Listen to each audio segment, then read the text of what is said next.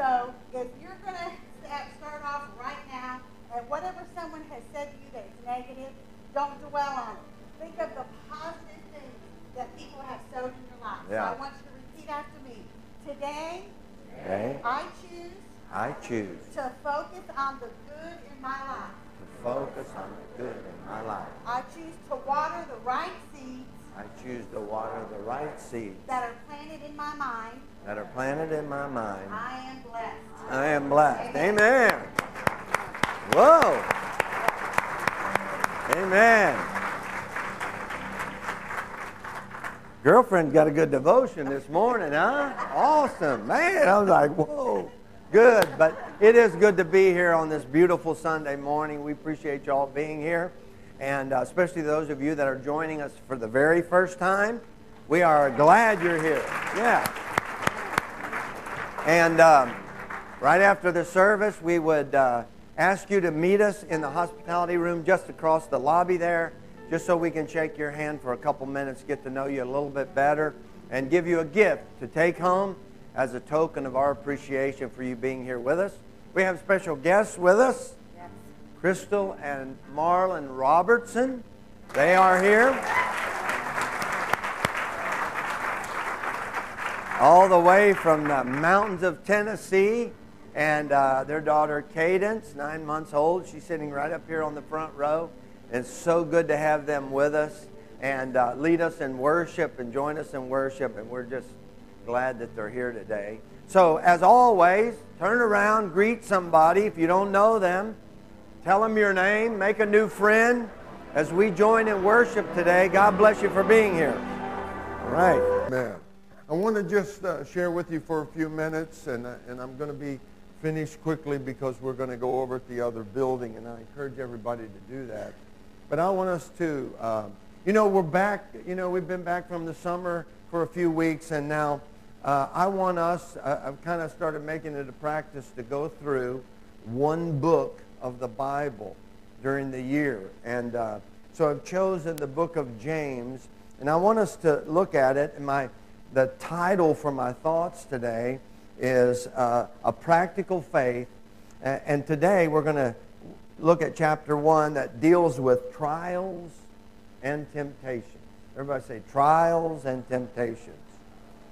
And um, the, the book of James is a very practical book, and it's, and it's an explanation about what faith in Jesus Christ looks like in the life of the Christian. Uh, it deals with what God does on his part and what we do on our part um, to live out our faith. And some refer to the book of James as the Proverbs of the New Testament. Uh, it's just five chapters long, but it's very condensed and, and just straightforward in uh, the way it's written. And, and I've read this book my whole life. I've read the book of James, I don't know, maybe a hundred times. And, and I always had this idea about the book of James that it was, you know, sort of a condemning, judgmental type book. And it pointed out everything I was doing wrong. You ever, you ever get that feeling about the book of James? Maybe it was just me.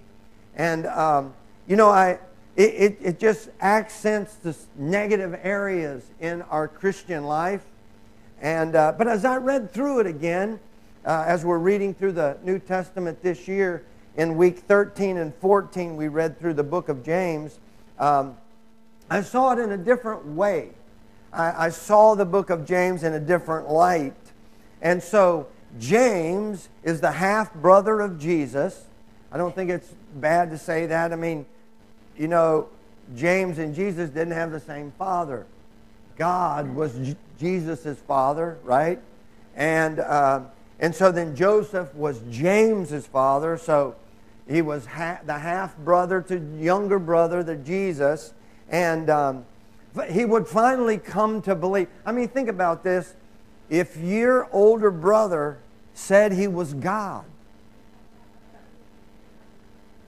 I don't think I don't think my older brother could convince me he was God. Even though when I was little, my older brother was uh, I grew up in the 60s, and my older brother was like Fonzie. Had his hair slicked back, you know, the leather jacket, t shirt, cigarettes rolled up, you know, in the sleeve. Some of you know what I'm talking about because you were that way. And uh, everybody he hung around with was like Fonzie. And uh, he thought he was cool. Hey. Hey, you know. But I never looked at my older brother like he was God. I thought he was tough and big and, and you know, all that. But James' his older brother was Jesus. And he finally would come to believe that. And he would give his life uh, to Jesus Christ, his older brother, as Lord. And, uh, and here's James. He, he introduces this book and, and he says hello, basically in the first verse, and then he just dives right in to this idea of dealing with trials and temptations in our life. And, um, and what, what's interesting about this book, if you look at it, at the very end of the book, I used to think this book was very kind of judgmental and dogmatic, and I could never live up to this idea that James was putting out, you know. But if you read the very last two verses of chapter 5, it, it tells the church, it encourages the church, the people, to restore those who have turned away from the faith or have missed the mark of the faith and, and save their soul from death. And the Bible says it covers a multitude of sins. So, so James, I, I kind of had a wrong perception of, you know, this book. And I think we can do that as Christians, right? We form a certain way of thinking. We, we uh, you know, form a certain mindset about something, about worship, about preaching, or whatever. And, and sometimes God has to kind of speak to our hearts to let us see that there is a different way of understanding it and look at it. That, so that's what's happened to me here, just to kind of give you my personal story. So here it is, James 1, verses 1 through 11. Let's read it together real nice and loud so, uh, so people who are listening to us on the internet or who will hear this later uh, over the internet. Ready? Here we go. James, a bondservant of God and of the Lord Jesus Christ, to the twelve tribes which are scattered abroad, greetings. My brethren, count it all joy when you fall into various trials, knowing that the testing of your faith produces patience. But let patience have its perfect work, that you may be perfect and complete, lacking nothing. And if any of you lacks wisdom, let him ask of God, who gives to all liberally and without reproach, and it will be given to you. But let him ask in faith with no doubting, for he who doubts is like a wave of the sea, driven and tossed by the wind. For let not that man suppose that he will receive anything from the Lord. He is a double minded man, unstable in all his ways. Let the lowly brother glory in his exaltation, but the rich in his humiliation, because as a flower of the field he will pass away.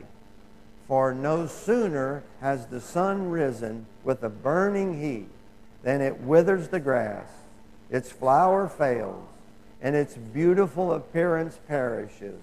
So the rich man also will fade away in his pursuits.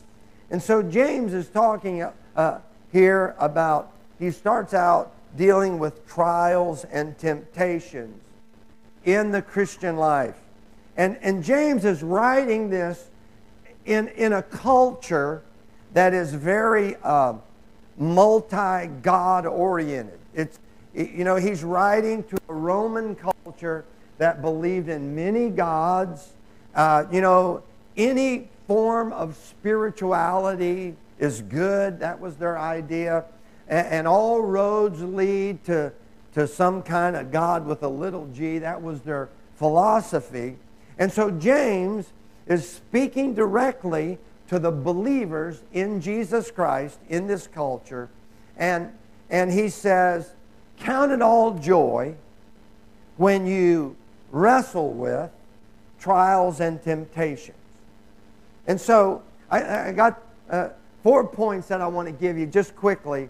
That, that kind of, so here's my idea. The, this, this is going to be, the Bible is going to be kind of our, our, our points. So as we go through this, uh, it, we're just going to read what the Bible says. That's going to be our points, okay? So today, I, I think first of all, James is saying, count it all joy because the testing of your faith works patience.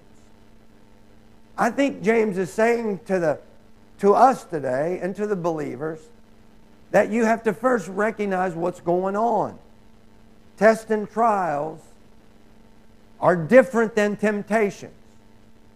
Um, trials are things that God allows into our life to help us grow and become mature in our faith. Tests are given to see if we have learned the lessons that need to be learned to go to the next place or the next level. It's like school. Tests are given to us not for the purpose of causing us to fail, but for the purpose of helping us understand what we need to learn to go to the next level. You preachers, you, you teachers ought to say amen right there. Uh, and so, tests are given to see if we've learned the lessons to go to the next place that God wants us to go. Proverbs 17, verse 3, it says, The refining pot is for silver and the furnace for gold. But it says, The Lord tests the hearts. In other words, God is testing the hearts of those who say they believe in Jesus Christ. And God allows tests to help us develop our character. And let me say this today God is more interested in your character than your comfort. God is more interested in, in you being holy than you being happy. Let me say that again. I didn't get hard. I got a weak amen. Lord, help me here. I, I, you know, people are bailing out on me here this morning.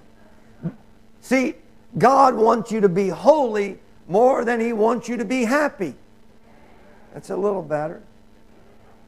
See, when we go through trials and tests, we need to learn to recognize what is going on in our lives. It's a process that God takes us through to help us grow and mature. So I've heard people say, and maybe you said this yourself, I know I have on a few occasions, you know what? Life was much easier before I got saved. And now I, have had people say, you know what? Uh, since I got saved, I can't do nothing anymore. Right? Uh, or, or, you know, everything is wrong that I do. And, and the reality is, maybe everything you were doing was wrong. That could be. But, but the point is, you know, when we give our hearts to the Lord and, and we, be, we begin to follow Jesus, it's not all about what we want, it becomes all about what He wants. And so, point two is we need to readjust to God's process. James 1 4 says that word perfect, that word actually means mature. See, and I want to help you. I, I am I'm giving you this book because I want to help you become stronger and mature in your faith. 1 Peter 1, verses 6 and 7 says, In this you greatly rejoice, though now for a little while, if need be, you have been grieved by various trials, that the genuineness of your faith, being much more precious than gold that perishes, though it is tested by fire, may be found to praise, honor, and glory at the revelation of Jesus. You know, we, we were singing just a couple of minutes ago, Lord, no matter what we're going through, we give it to you. Every trial, every problem, every need, every circumstance, every situation in our families, Lord, we give that to you. That's a, that's a a test of your faith to see if you can just let God take care of it rather than you try to shoulder the load of that on your own. Amen? And so your life as a Christian is now to be lived to the glory of Jesus. And so it takes a readjustment of our lives. We no longer live for ourselves, we live to glorify God. It's not about you anymore. Look at your neighbor, say, It's not about you anymore. I know that might be a revelation to somebody here, but you know, we say it like this you know, when people are all about themselves and always want it their way, we say, Here's you and here's the world, you know? And, and it's not about you anymore. God's way of doing things is to teach us patience through trials and tests. Patience causes us, as James said, when we come to an end of ourselves, to ask God for the wisdom to know what to do in this situation. And so we have to readjust. Thirdly, you got to reach out for God's help. James 1 and 5 said, If anybody lacks wisdom, let him ask of God, who gives to all liberally to all who ask, and, and it will, without reproach, and it will be given to him. See, James talks about trials and tests, but he also talks about temptations.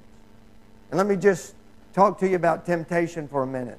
Temptation is different than trials and tests because temptation comes from the enemy, comes from the devil.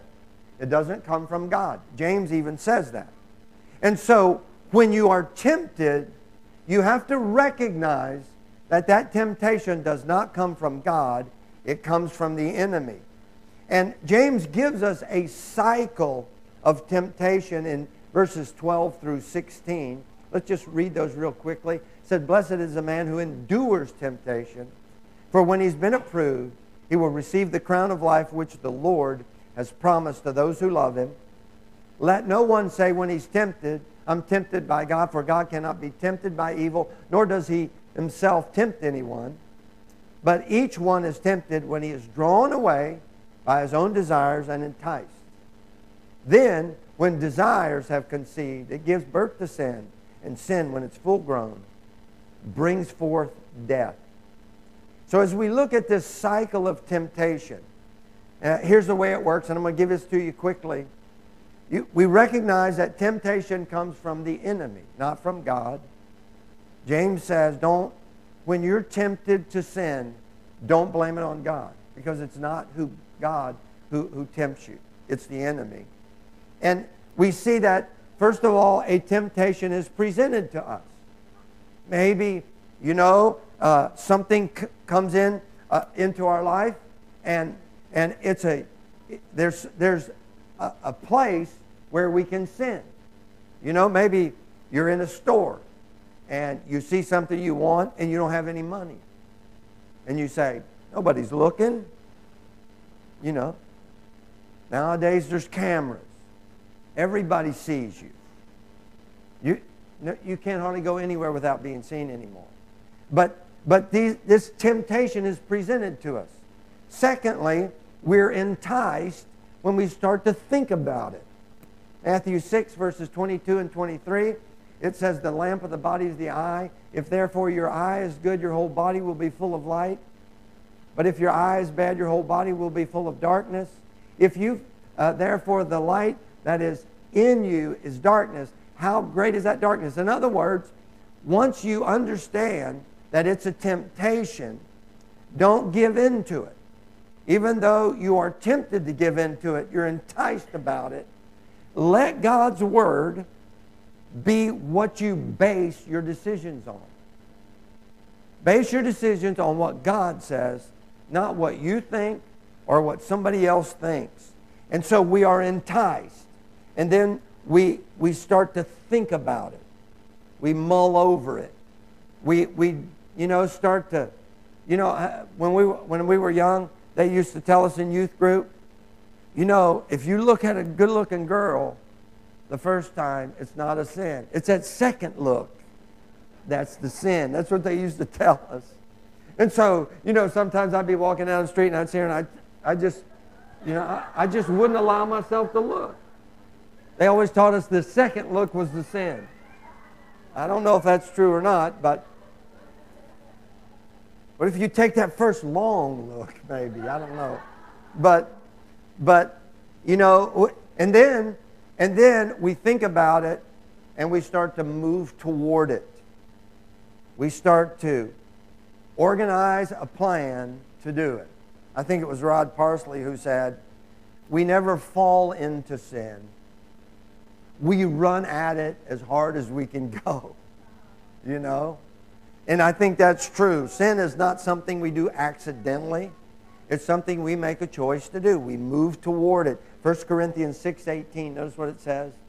Flee sexual immorality. Every sin that a man does is outside the body, but he who commits sexual immorality sins against his own body. 2 Timothy 2:22 says it like this: Flee youthful lust, but pursue righteousness, faith, love, peace, and those who call on the name of the Lord out of a pure heart. In other words, once you start moving toward it, then you're, you're, you're probably going to commit that sin. You rationalize it. You say to yourself, you know what? It's not bad. Or, or you say this, you know what? A lot of people do a lot worse things than me. We, we you know, uh, uh, you know, people do terrible things. This is not that bad. And, and, and, or here's one. You ready for this one? But it feels so right. You, you know, it, it just feels so right. I've had married people come and say to me, Pastor, I'm just not happy. And being with the other person, it just makes me feel so right. And I'm thinking to myself, but it's so wrong. and, and how long is it going to feel right when you hook up with this one?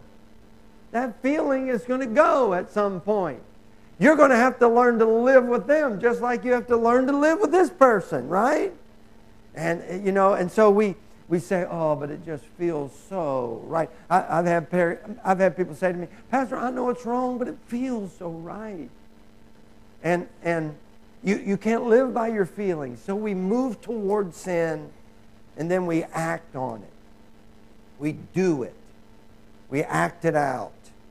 Proverbs 24, verse 16 says, For a righteous man will fall seven times and rise again, but the wicked will fall by calamity. See, we Hebrews 4, let's look at that one, 14 to 16. Seeing then that we have a high priest has passed through the heavens, Jesus, the Son of God, let us hold fast our confession. For we do not have a high priest who can't sympathize with our weaknesses, but was in all points tempted as we are, yet without sin. In other words, James is saying Jesus was tempted too, in every way like we are. Temptation is common. We all deal with it. But we have a way of escape. Jesus has given us a way out.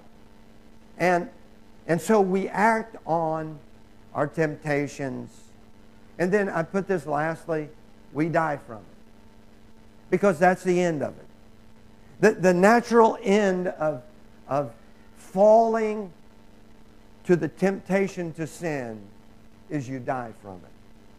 Whether you die spiritually or, or it causes you to die physically, which happens too, we die from it.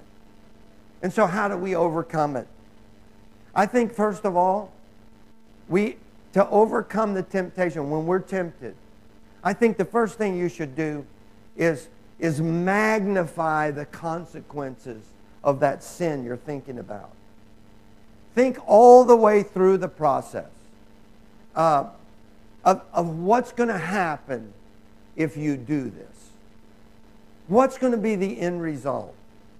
Ask yourself, what will happen if I get caught or found out doing this? Who will I hurt? Who will I disappoint if I do this? It's interesting. Let me, let me just share this with you. You know, we hear about this whole Ashley Madison thing. You know, this website where you can have affairs and you're supposed to, like, you know, keep you anonymous. But somebody hacked into this account and put all these anonymous names out. Yeah. Yeah, maybe that was God. I don't know. What's not good, Jim, is from what we understand, there's 4,000 pastors whose name is on that list. Mine ain't one of them.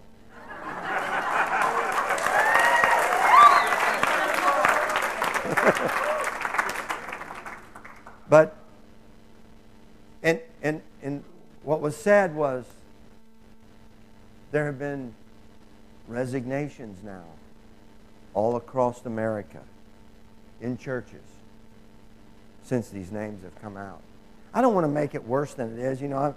But but the point is you don't think through what you're doing or what's going to happen if somebody hacks into that account. Who would have thought of that? But Ashley Madison, they, you know, they, they promoted this idea, life is short, have an affair.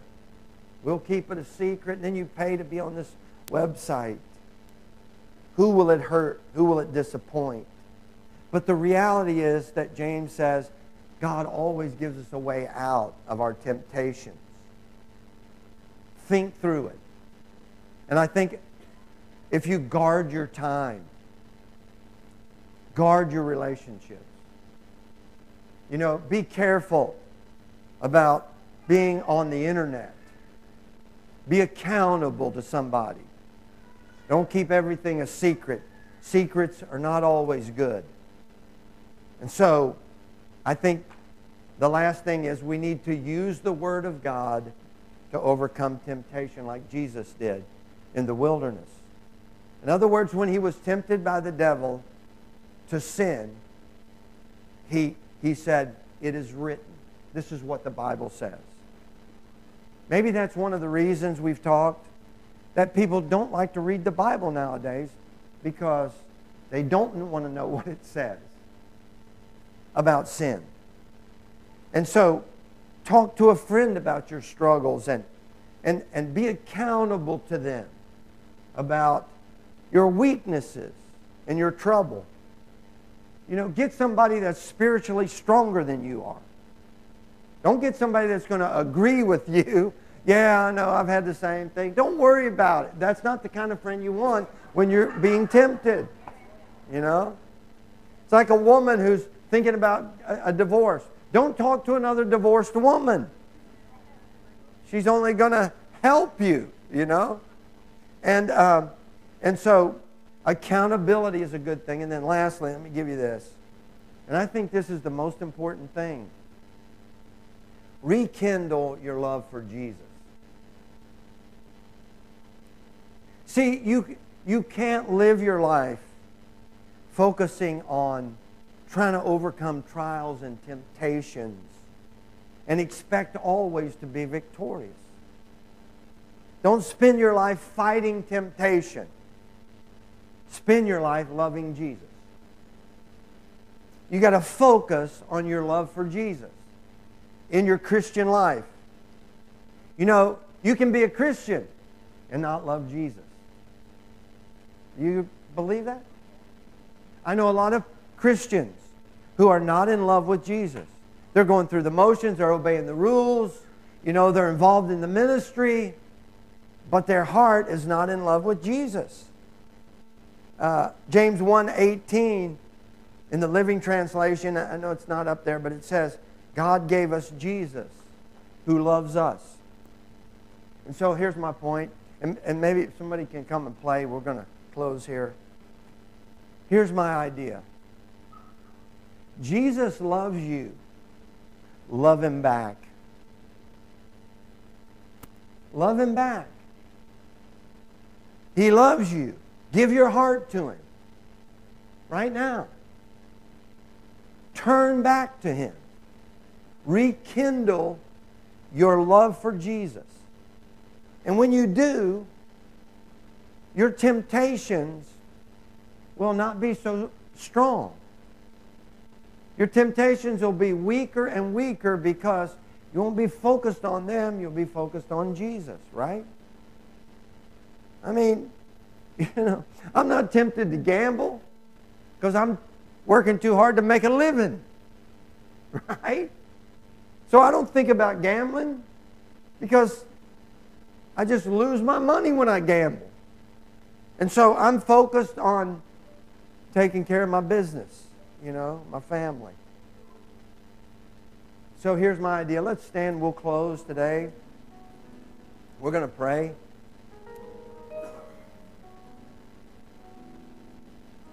As we close today, James tells us that we face tests and trials. That's God's process of maturing us. And we face temptations from the enemy from without to pull us away from God and cause us to sin. But Jesus came to provide a way out for us.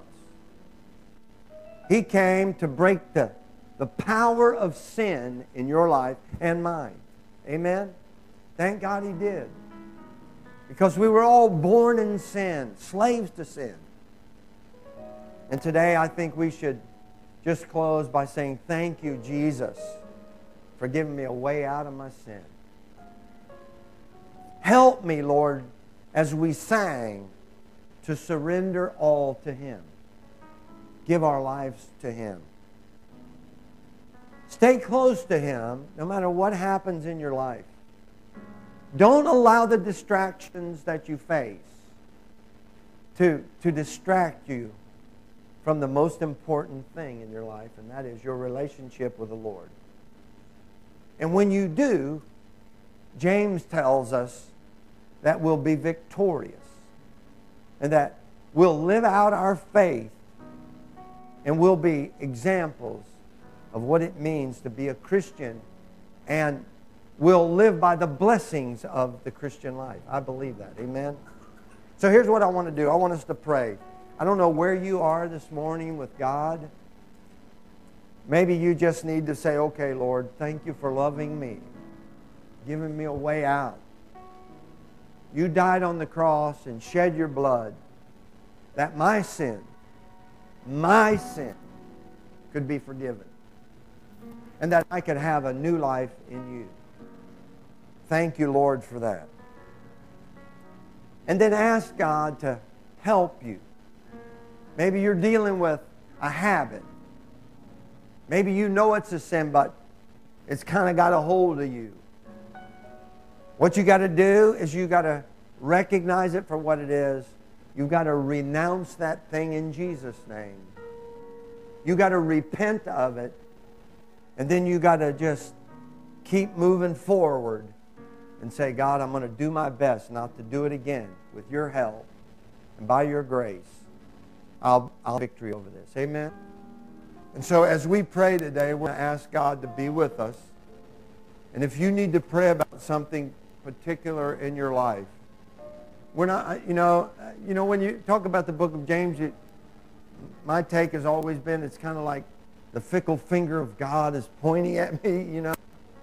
But James is saying, listen, the Christian life is lived through a relationship with Jesus. And that life is a victorious life. It's a powerful life. And so this morning, I want us to pray together. And I want you to ask the Lord to touch your situation. Maybe it's somebody in your family. Maybe it's, you know, something in your own life. But we want to pray, and we want to ask God to help us. We want to remember to pray for Steve's sister. She's, in, she's uh, having problems with her kidneys again. And so we want to lift her up in prayer. Ask the Lord to be with her. We want to pray for Henry, that the Lord would be with him. We thank God Beulah got home. She's doing good. Yeah, doing good.